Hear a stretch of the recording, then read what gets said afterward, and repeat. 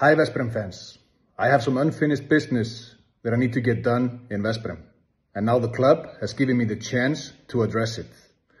I am highly motivated and I will do anything to reach the goals that are ahead of us. I will do my best. Hoira Vesprem.